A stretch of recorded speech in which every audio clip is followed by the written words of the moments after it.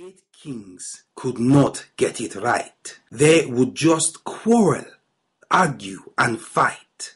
They could not be united in their endeavor to beat King Amponsem, who was just too clever. He made each one bring him the entire crop. Until they were starving, he would not stop. The nation's people were destitute, left to die. All around you could hear the desperate cry.